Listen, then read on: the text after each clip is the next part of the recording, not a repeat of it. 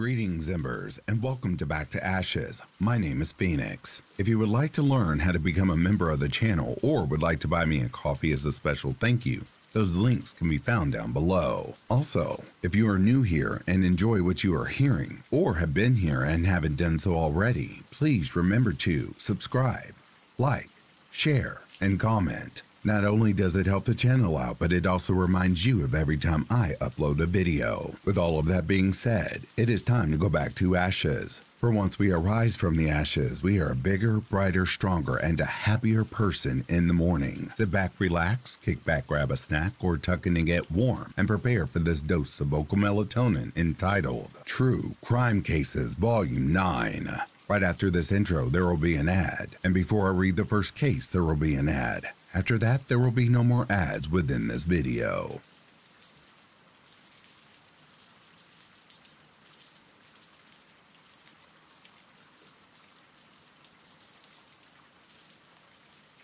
Chadwick Banks executed for the murders of his wife Cassandra Banks and her 10 year old daughter Melody Cooper.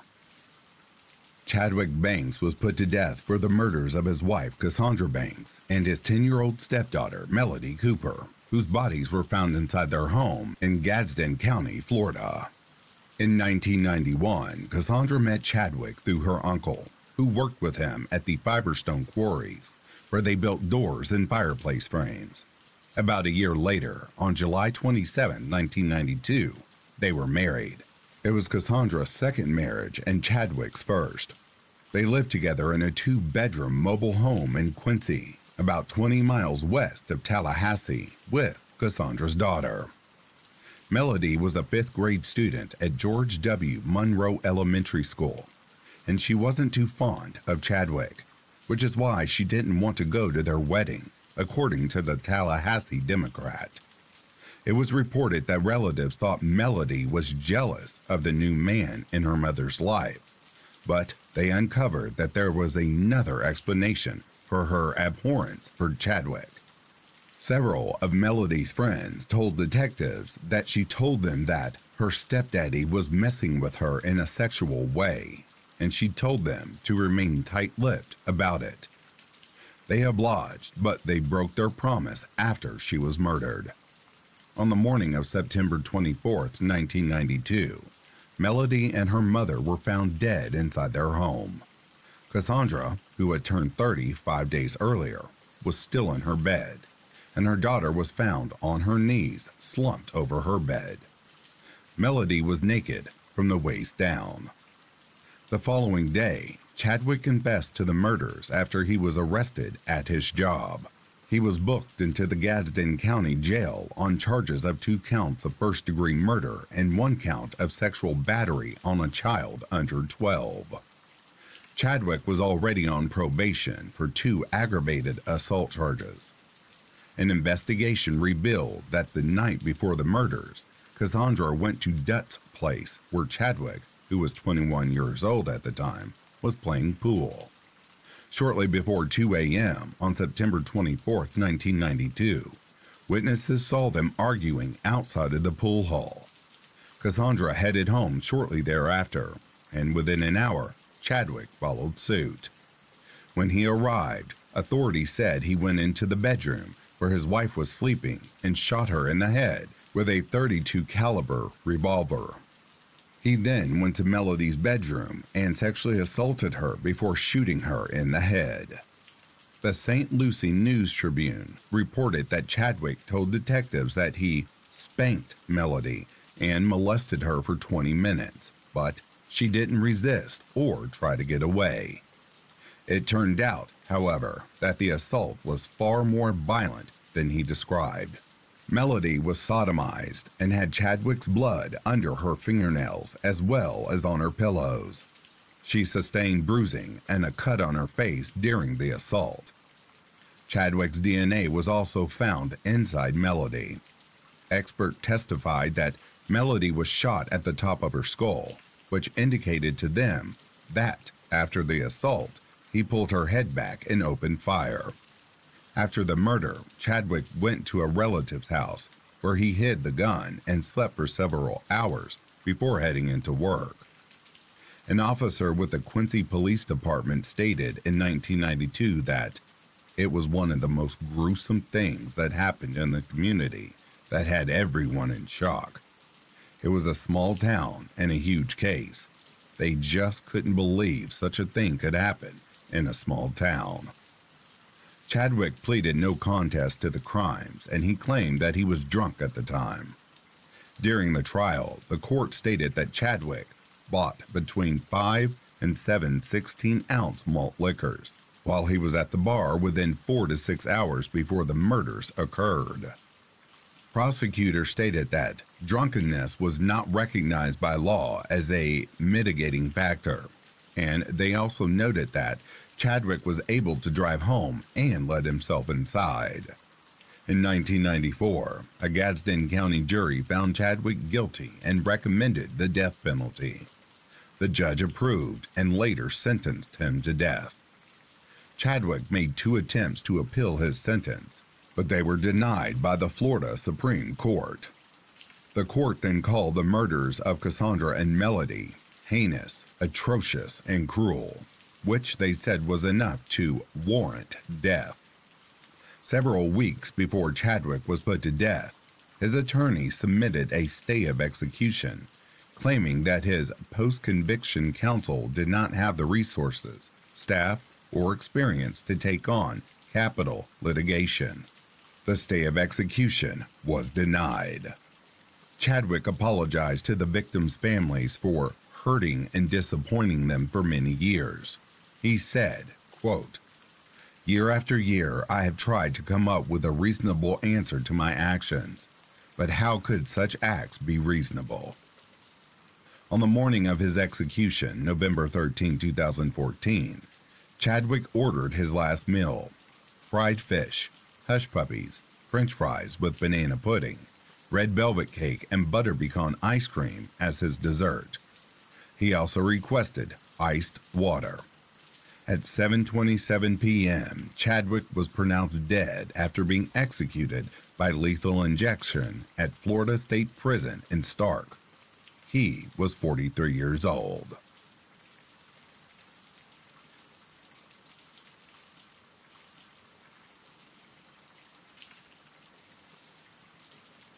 Jerry Lynn Burns behind bars for the cold case murder of 18 year old Michelle Martinko.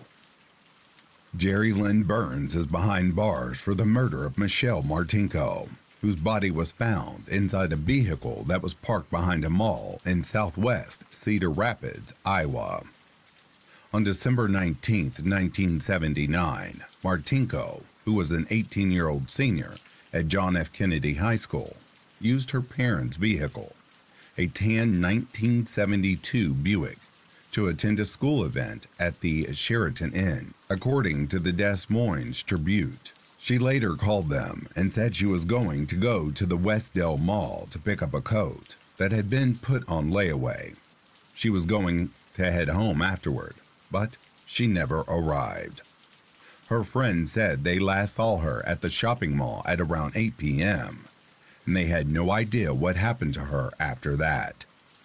One witness claims to have seen her shopping in a jewelry store. At around 2 a.m. on December 20th, 1979, Martinko's parents called the Cedar Rapids Police Department and reported her missing, which prompted a search by law enforcement. Two hours later, Martinko was found dead. When a police officer went to the shopping mall, he spotted Martinko's family vehicle parked behind J.C. Penney. Upon looking inside, he found Martinko's body in the passenger seat. According to the pathologist's testimony, Martinko was stabbed 29 times in the face and chest, but the fatal wound was to her sternum, which penetrated her aorta, and she bled to death. Martinko also had defensive wounds on her hands. A preliminary investigation showed that Martinko died at around 9 p.m. the previous evening. After searching the vehicle, investigators realized that Martinko's killer tried to conceal his identity by using rubber gloves. They found a print in the dirt on the outside of the vehicle, as well as a print in blood inside. What the killer didn't anticipate was leaving behind his own blood on the gear shift as well as the black dress Martinko was wearing. However, police officials weren't able to identify Martinko's killer. They initially suspected Martinko's ex boyfriend, but he was cleared after having his DNA tested. We're talking to friends and two teachers, but so far we have no leads. Chief Ray Baker said in 1979. We're hoping somebody saw something or knows something that will be of assistance to us. On March 19, 2018, nearly 40 years after Martinko was killed, Burns, who was 66, was arrested and charged with first degree murder. He was booked into the Linn County Jail where he was held on a $5 million cash bond only. During an interrogation, Burns denied having anything to do with Martinko's murder. Yet he was unable to explain how his DNA got inside her family's vehicle. He said, If I was there, I don't know. As far as I know, I was not there. Then he told the detective to test his DNA to see if it was a match, but they had already collected his DNA from a straw he left behind at a restaurant. After finding Martinko's killer, detectives tried to figure out the motive.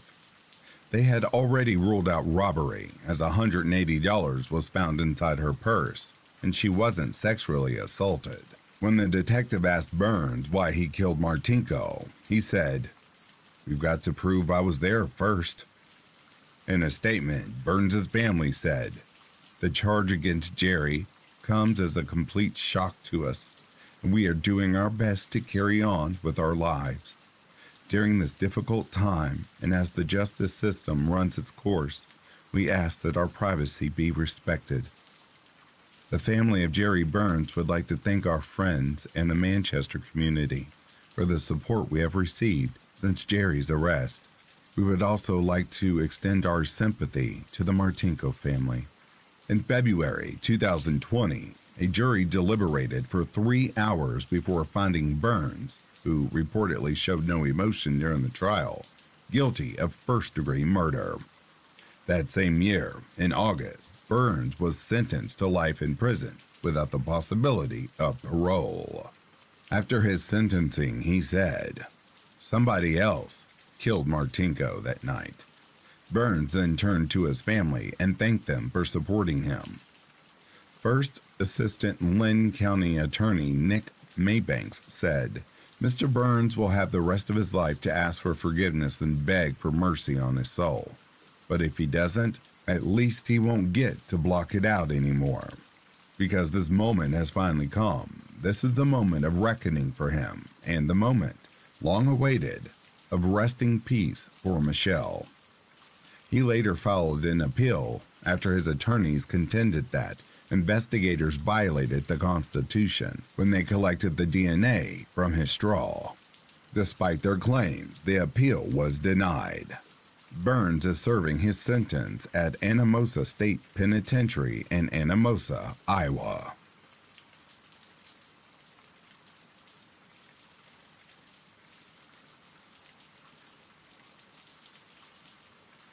Arthur Jensen behind bars for murdering a 17 year old girl, Adara Bunn, who went to his home to buy Disney Cups. Arthur Jensen is behind bars for murdering a 17 year old girl, Adara Bunn, also known as Sissy, at his home in Sheldon, Illinois. At 4:13 p.m. on August 5, 2019, law enforcement officers were dispatched to a home in the 300 block of West Main Street after receiving a 911 call from a neighbor about a disturbance. They claimed to have heard a young girl screaming from inside the house. She was yelling, Stop, let me go, and I won't tell the police if you just let me go, according to NBC Chicago. When officers arrived on the scene, they found Jensen outside his home, where the then 49 year old told them there's a girl inside, and I strangled her. Police officials found Adara's body inside the home, and an autopsy later confirmed that she died from ligature strangulation. Jensen was immediately arrested and charged with first degree murder. He was booked into the Iroquois County Jail, where he was held on a $1 million bond. Adara was a straight A student at Milford High School, where she was about to start her junior year. The aspiring veterinarian lived in Sheldon with her family. An investigation revealed that three days before Adara was murdered, she attended a neighborhood wide rummage sale with her mother. The mother and daughter made a stop at Jensen's home, where Adara purchased Pocahontas glasses. She was a collector of Disney memorabilia. On August 4, 2015, Adara returned to Jensen's house, wanting to speak to his wife about buying more memorabilia items. But she wasn't home. She was at her high school reunion out of town. As Jensen and a friend were cleaning up from a previous yard sale, he told Adara to come back tomorrow. He claimed that he would have Disney cups available for her to buy. When Adara returned to Jensen's home the following day, he strangled her to death with a blue nylon rope, and investigators believe that Jensen lured Adara to her death. According to Adara's obituary, she enjoyed reading, fishing, school, amongst other things. She was an all around joy everyone around her. In a statement, the Milford Area Public Schools stated that the community is grieving after hearing of the death of one of our high school students yesterday. We are suffering as a staff, student body, and community for this loss. Please keep the family of our student in your thoughts and prayers during this terrible time. Assistant State's Attorney Michael Quinlan said that it was one of the worst murder cases he had ever seen. Jensen's attorney didn't deny he killed Adara, but he contested the first degree murder charge. He claimed that Jensen had no knowledge that the teen was going to stop by his home. When she showed up, they spoke briefly outside before Jensen went back inside his house. As he exited the bathroom, Jensen's attorney stated that he was startled when he saw Adara standing in his living room area. He said he tried to physically remove Adara from his home, but during the struggle, he became enraged and pulled the rope from his pocket, which he said he had because he had been packing up the garage sale items, according to a source. The police chief testified that Jensen told him that he had anger issues. Quinlan asserted that Jensen made no mention of being startled by her when he initially spoke with police and admitted to killing Adara. Jensen is no stranger to the law. Back in 1995, Jensen, along with three others, were found guilty of felony theft, and he was sent to prison for three years. After a four day trial in March of 2023, a jury deliberated for an hour and a half before finding Jensen guilty on two counts of first degree murder. That same year, in May, Jensen was sentenced to 50 years in prison and he will have to serve the entire sentence before he is released. The judge also gave Jensen credit for the 1,380 days he had already spent in the county jail. Iroquois County State's Attorney James Devine said, The family afterwards was very relieved and glad that this process is done as far as the court process. Jensen subsequently filed an appeal, but the details regarding the process are unavailable.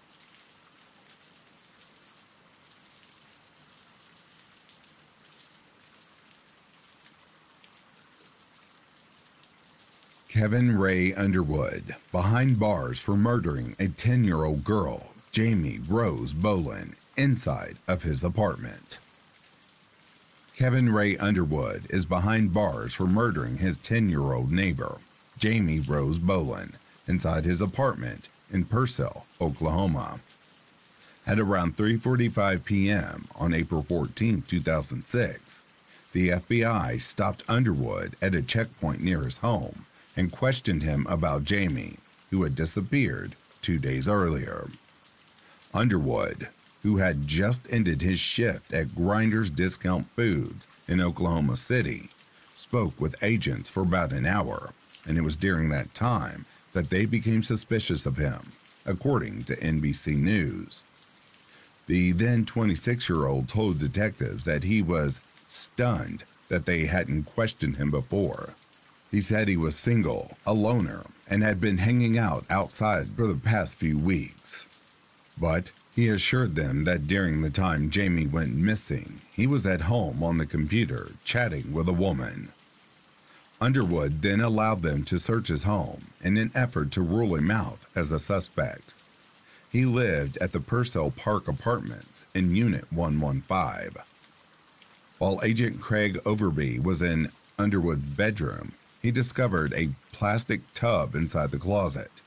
There was a lid on top of it, but it was secured with duct tape.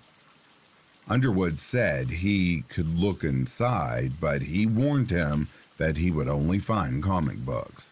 After lifting a corner of the tub and looking inside, Overby said, There are no comic books in there. There are clothes. That's when Underwood told Overby to arrest him because Jamie's body was inside the tub and he had chopped her up. Underwood was immediately escorted outside the apartment where he was placed in handcuffs and transported to the Purcell Police Department. When Overby realized that he never saw a body, he went back inside Underwood's apartment along with several officers and opened the tub.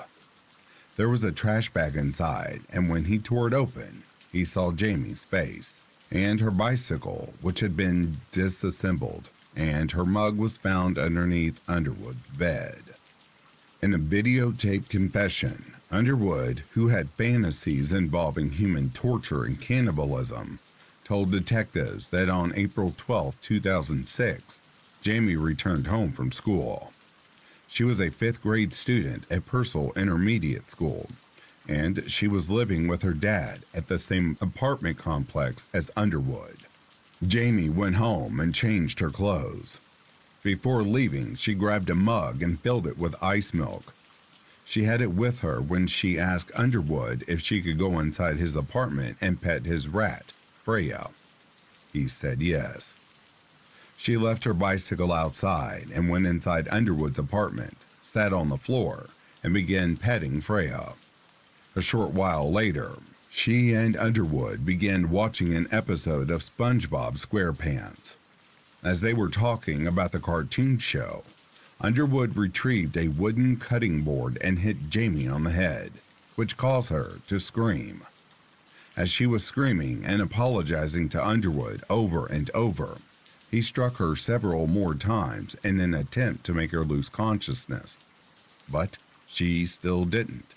He then put his hand over her mouth and nose and tried to suffocate her, but Jamie fought the entire time. The struggle led to multiple injuries to his legs but he continued until he thought she was, in fact, dead. As Jamie lay motionless on the floor, Overwood turned her over, and it was then that he noticed she was still breathing. He put duct tape over her mouth and nose and dragged her body to the bedroom before going outside and bringing her bicycle inside the apartment.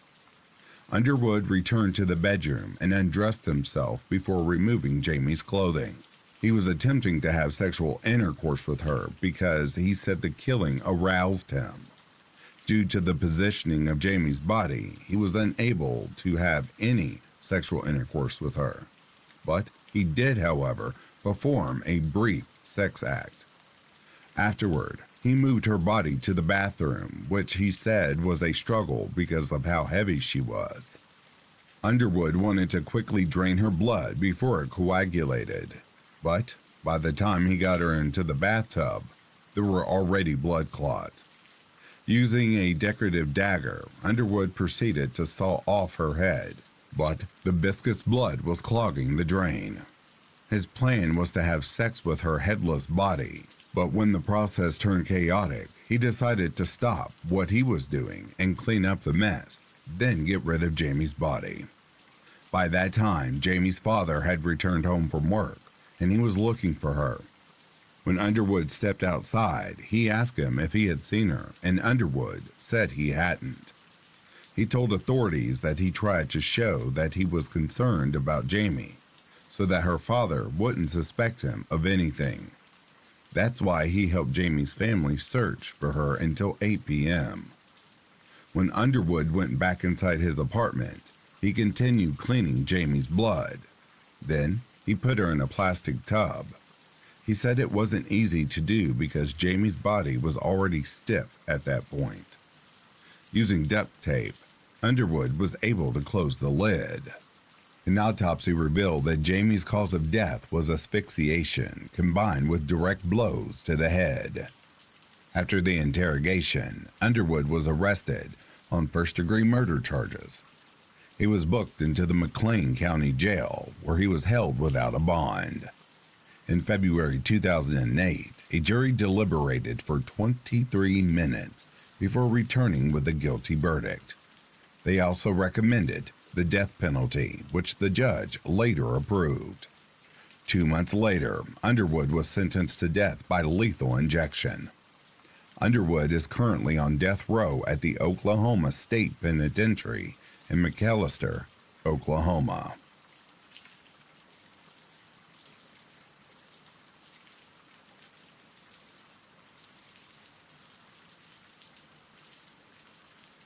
Anita Hill behind bars for the truck stop murder of her son's boyfriend, Jamie Johnson. Anita Hill is behind bars for the murder of her son's boyfriend, Jamie Johnson, which occurred at a truck stop in Tuscaloosa County, Alabama. On the evening of April 14, 2014, law enforcement officers were dispatched to a Love's truck stop on Alabama 216 near Interstate 2059 in McCalla after receiving a 911 call about a shooting. When they arrived on the scene, they found Johnson, 36, on the ground, suffering from a gunshot wound to the back. He was transported to UAB Medical West Hospital, where he was pronounced dead. Police learned through an investigation that Hill who was 51 years old at the time, had plans to meet up with her son at the gas station to talk. When she arrived, she realized that he had brought his boyfriend of four years, and that's when an argument ensued. According to the testimony of Hill's son, Johnson yelled and cursed at her, then called her a name. Some sources state that Hill knew Johnson was going to be at the gas station and that she was planning to speak to both of them about their relationship. At some point during the conversation, Johnson turned around and attempted to walk away. It was then that Hill of Pickens County pulled out a revolver from her purse and opened fire. Hill returned to her vehicle and waited for the police to arrive. She was arrested on murder charges and booked into the Tuscaloosa County Jail where she was held on a $75,000 bond. Hill was later released after posting bail. According to 6 WBRC, Sergeant Dale Phillips with the Tuscaloosa Metro Homicide Unit said, quote, Witnesses have told us the relationship between these two individuals, the two young men, had been at times possibly physically abusive as well as mentally abusive. We do not see this in any nature being a hate crime. We see this as a family having issues in this. All the people involved in this were either related or had been acquainted for several years.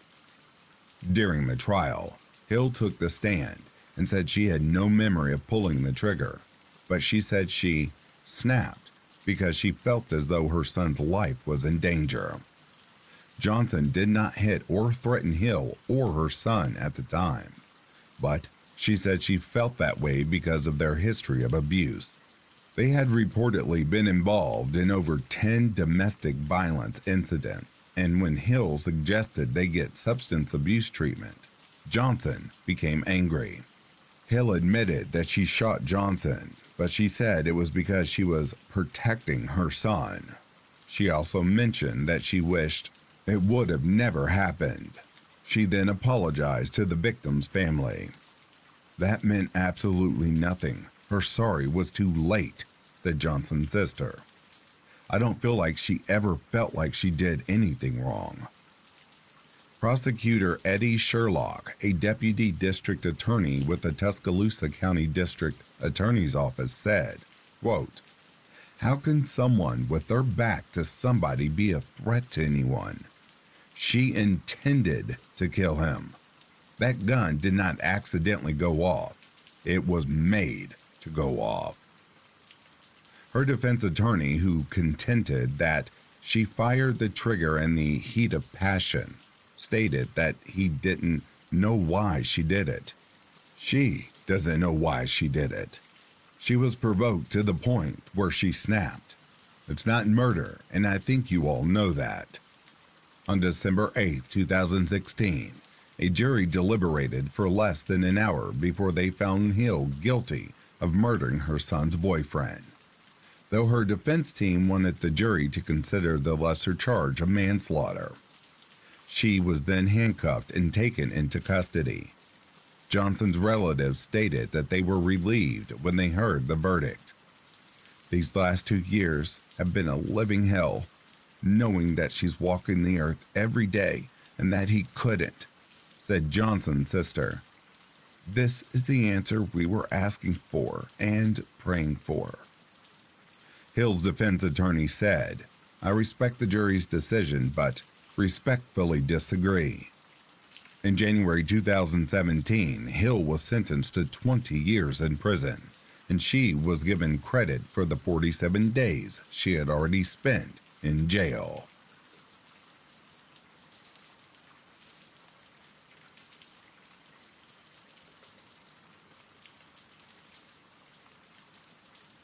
Robert Early behind bars for murdering his girlfriend, Emily Lampert, following an argument during a weekend trip.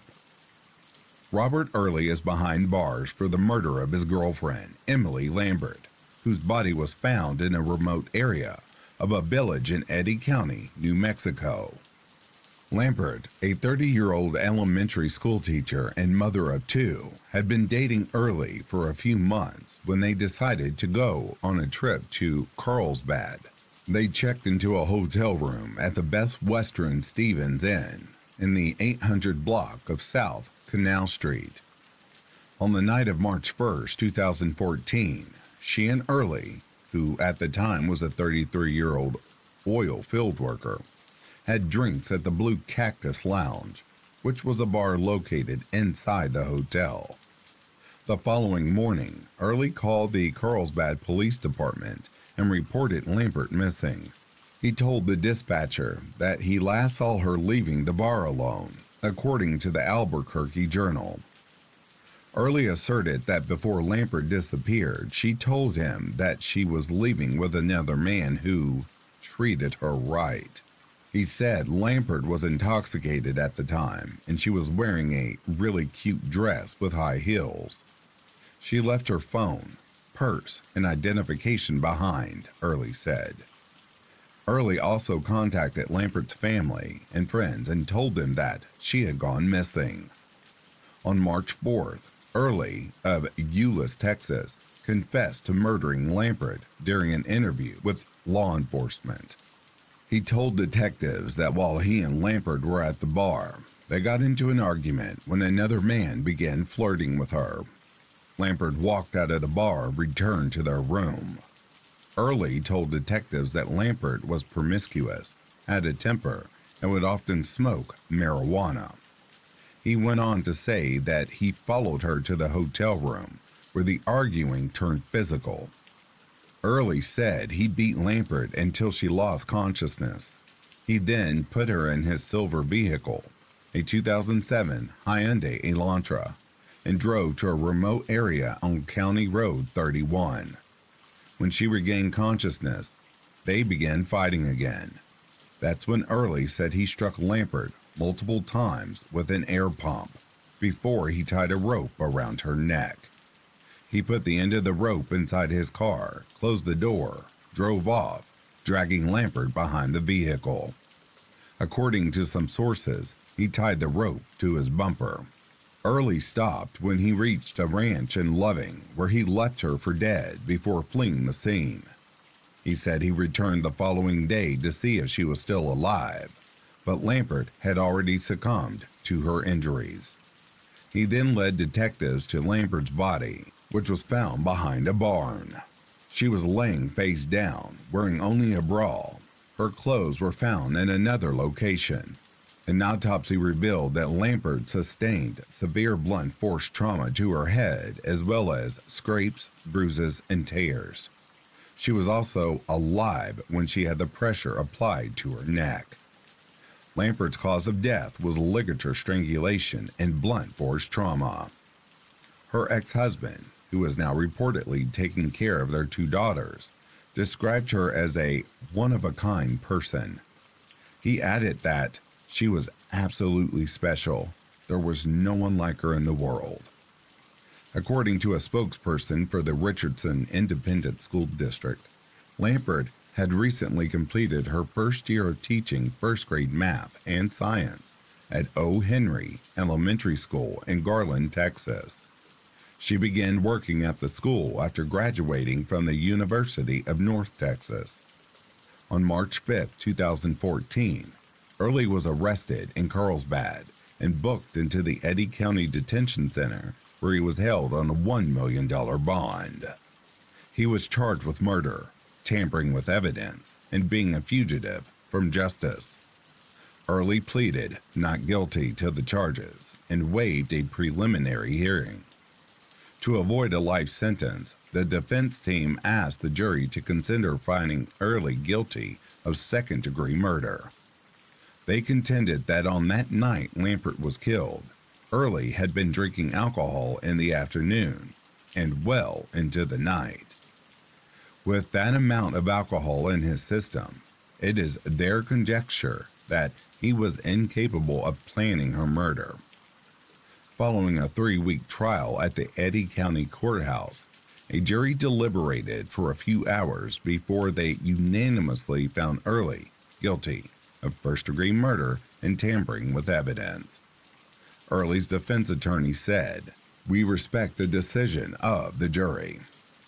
In May 2015, Early was sentenced to life in prison without the possibility of parole. After his sentencing, Early spoke briefly. He said, The guilt and pain I've had since that night has been a living nightmare. He then asked Lampert's forgiveness, but he stated that he didn't expect them to forgive him, adding that he would trade places with Lampert in a heartbeat. Early filed an appeal after his attorney argued that the statements he made to the police should never have been used as evidence against him. He also claimed that the court was wrong in allowing the graphic crime scene photos and denying his request for a continuance the New Mexico Supreme Court disagreed and upheld his conviction.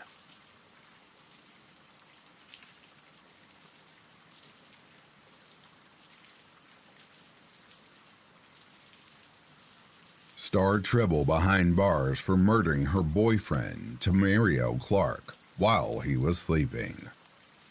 Star Tribble is behind bars for murdering her boyfriend, Tamario Clark, while he was sleeping at their home in Polk County, Florida. On February 22, 2016, law enforcement officers were called to Tribble's home in the 3700 block of Imperial Drive in Winter Haven. When they arrived, they discovered Clark's decomposing body on a mattress next to a bullet casing belonging to a 45 handgun, which they didn't find. Clark, 33, had been shot in the back of the head. The following day, Tribble was arrested and charged with accessory after the fact and giving a false statement. She initially told detectives that she had nothing to do with Clark's murder, and the last time she saw her boyfriend of 15 years was on February 18th, which is when she said she left her home. Tribble, a certified nurse assistant, stated that Clark instructed her to take their two boys, who were 7 and 10 at the time, as well as her then 20 year old daughter, and leave the home for a few days. After packing some of their belongings, Tribble said she checked into a hotel a few miles away and didn't return home until the day Clark's body was discovered. When she mentioned how Clark was killed, detectives were suspicious, as they claimed to have never provided Tribble with that information. They also stated that she did, in fact, return to the home on February 19th and February 21st because she was captured on surveillance video. Tribble admitted to returning home, but she said it was only to retrieve her work uniform. She also mentioned that she knew Clark was dead, but had no idea who may have killed him.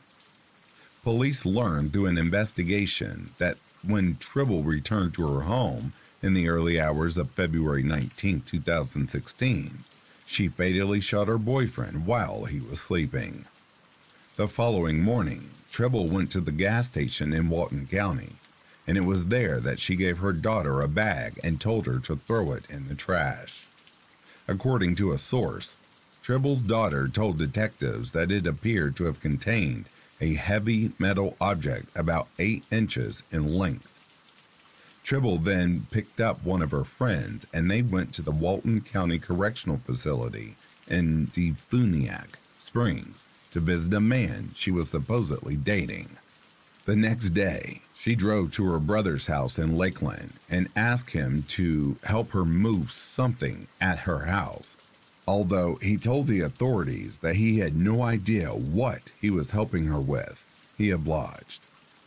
Leaving her children behind, Tribble took her brother to her house. Once there, she apprised him that Clark was in the bedroom. After he saw Clark's body, he asked Tribble why she didn't call an ambulance or the police, according to an arrest affidavit. Tribble said the authorities would have asked too many questions, and it was also reported that she confessed to shooting Clark. She said she did it because she was sick of him jumping on her. Although Tribble's daughter told authorities that she witnessed physical violence between Tribble and Clark when she was younger, they hadn't been violent toward each other in the days leading up to his murder.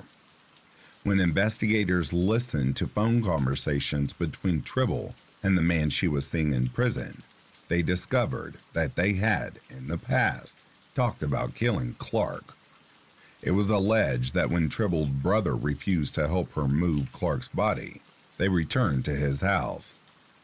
On the morning of February 22, 2016, Tribble's daughter was about to leave her uncle's house and head to class when she realized she left her book at her home in Polk County. As Tribble handed her the key to the house, she purportedly said, He's gone. When Tribble's daughter went back to their house, she found Clark's body and called the police. Tribble was booked into the Polk County Jail where she was held without bond. She was later charged with first degree murder, according to the ledger. On October 31, 2017, a Polk County jury found Tribble guilty, and a judge sentenced her to life in prison.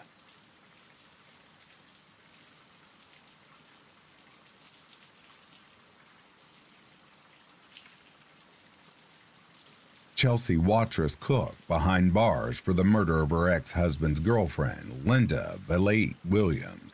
Chelsea Watrous Cook is behind bars for murdering her ex husband's girlfriend, Lisa Valate Williams, at his apartment home in Midvale, Utah. In August 2017, Cook's former spouse filed for divorce, and five months later, it was finalized. He eventually began dating Williams, a 26 year old teller at the bank where he worked. By the summer of 2018, Cook had allegedly begun harassing Williams, and according to the Daily Spectrum, there were confrontations at the bank, bullying on Instagram, and several phone calls. Those calls were reportedly made from Skyridge High School in Lehi, where Cook had been employed as a health and yoga teacher for four years. Williams, of American Fork, was reluctant to report Cook to the police because she thought it would have made the situation harder for the children. Cook and her ex husband had two children, twin girls, who were three years old at that time. In hindsight, I think the best thing for the kids would have been to call the police every time, said one of Williams' relatives. Williams' mother stated that she would always worry about her daughter's safety. On the night of November 25, 2018, Cook sent her ex husband a text message. She asked him to meet her outside his apartment complex, which was located near the 7600 block of South Center Square. Cook claimed that she wanted to give him cold medicine for one of their daughters. He went outside and stood in the parking lot, but Cook was nowhere to be found. When he returned to his apartment, he realized that Cook had snuck inside, where Williams and the twin girls were decorating the Christmas tree with ornaments they had handmade. He asked her to leave, but Cook refused and locked herself in the bathroom for approximately 15 seconds. He called 911, and during that time, Cook exited the bathroom and grabbed her coat. Cook, who was 32 years old at the time, pulled out a gun and fired three to five shots at Williams, which caused her to fall on the couch. When Cook's ex husband snatched the gun out of her hand, she sat down in a chair next to her children. As he was tending to his girlfriend, he got up and started walking toward her coat. That's when he pinned Cook against the wall and instructed their children to run to the room. He kept Cook in that position until the police arrived. Robert Ungrit, a detective with the Salt Lake City Police Department, stated that at around 6:56 p.m. they received a call about a domestic disturbance, but sometime later they received another call about a shooting. When officers arrived on the scene, they noticed Williams was suffering from two gunshot wounds to the torso. She was rushed to an area hospital where she succumbed to her injuries. Cook was arrested. She was booked into the county jail on charges of one count of aggravated murder. After her arrest, the Alpine School District terminated her employment and removed her staff page from their website. They had also learned that Cook was arrested in October 16, 2016. She was charged with domestic violence, but it didn't involve Williams. According to the attorneys in the case, Cook and her ex husband got into an argument while he was picking up their children. It was then that she allegedly grabbed him by his hair, which caused him to fall down the stairs. She pleaded not guilty to the charge but she failed to report it to the superintendent. It was reported that if teachers with the Alpine School District were ever arrested, they were supposed to report it within 48 hours. On November 30, 2018, Williams was buried at the Centennial Park Cemetery in Centennial Park, Arizona. According to her obituary, she was joyful and delighted in the little things. She had a green thumb and a passion for plants, especially finding and reviving the ones that were struggling. To those who knew her well, she was funny, thoughtful, philosophical, and loved to engage in meaningful conversation. Cook later admitted to fatally shooting her ex husband's girlfriend. To avoid the death penalty, she pleaded guilty to seven charges, including aggravated murder, aggravated burglary, and committing violent offenses in front of children. In February of 2020, Cook was sentenced to 34 years to life in prison.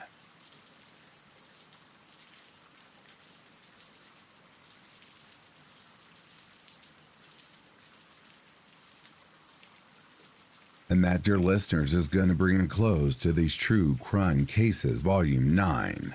I know it's a little short, but you've got a really special treat coming tomorrow.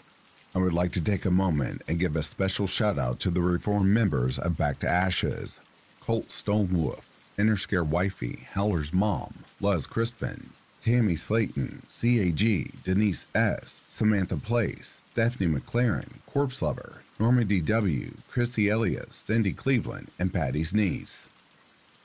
If you are sleeping, I hope Slumberland is treating you comfortably. If you're awake, I hope you've enjoyed these cases. Until next time, please take care of yourself. I'll be reading to you very, very soon. Peace, love, and light to you all.